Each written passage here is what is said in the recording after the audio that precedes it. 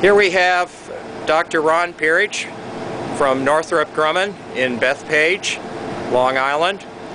He will now demonstrate the activity of our solar photoreactor, uh, which uh, is driven by this uh, simple solar panel.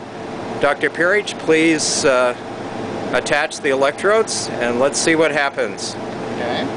As we now attach the electrodes, we will see bubbles being Yes. generated and uh, the color should be changing.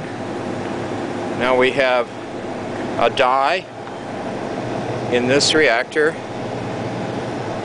and we will see bubble evolution and you can see the bubbles are mainly hydrogen. A hydroxyl radical is generated at the anodes and the methyl orange is now reacting with hydroxyl radical and the gas is almost 100% hydrogen at this point in time.